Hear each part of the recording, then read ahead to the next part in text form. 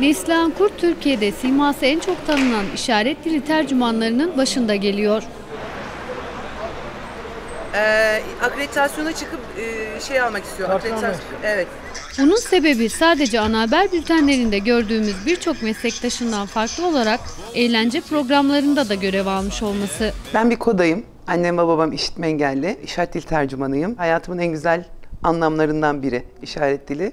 Onun için çok seviyorum. İşitme engelli insanlara, sağır toplumuna e, oradaki eğlenceyi de verebilmekti amaç. Ve gerçekten verebildiğimizi gördüm. Çok güzel bir tecrübe oldu benim için. Defne Pix 2017'de de görev alan Neslihan Kurt, açılış seremonisinde Murat Boz'un şarkısını da binlerce işitme engelliye ulaştırdı. Hepimiz e, meşakkatli bir yoldan buraya geldik. Ve bu görevi bize verdikleri için çok büyük bir gurur ya. Ve Herkese nasip olmaz diye düşünüyorum. Çok iyi bir arkadaşımla çalıştım Janti şarkısını. Çok güzel bir şey çıkmış. Neslihan Kurt'un da aralarında bulunduğu 178 işaret dili tercümanı Defne Pix Samsun 2017'de görev yapıyor.